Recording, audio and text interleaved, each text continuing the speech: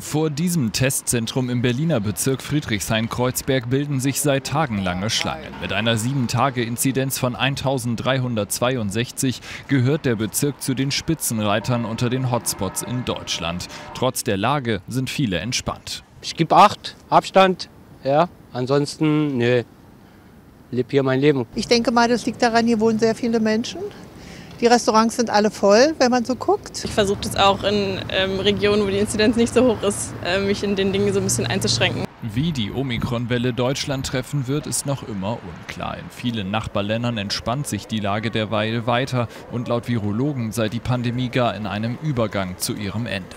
Und auf diesem gleitenden Übergang bis zum Pandemieende muss man sich dann natürlich auch stufenweise deeskalierend an die entsprechende veränderte Situation anpassen. Zuletzt sank die Hospitalisierungsinzidenz in zahlreichen Bundesländern unter die von den Ministerpräsidenten gesetzte Grenze von drei. Viele Bundesländer reagieren darauf dennoch nicht.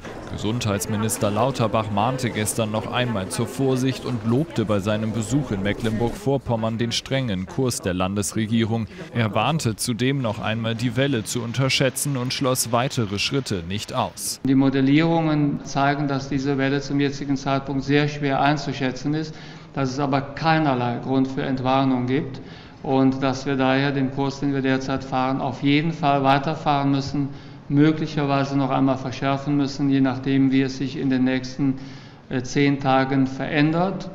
Nach Bayern will nun auch Baden-Württemberg mit einem Stufenplan die Corona-Maßnahmen nachjustieren. Weitgehende Einschränkungen seien nach dem merklichen Rückgang der Hospitalisierungsinzidenz auf Dauer nicht zu halten gewesen, hieß es von der Landesregierung.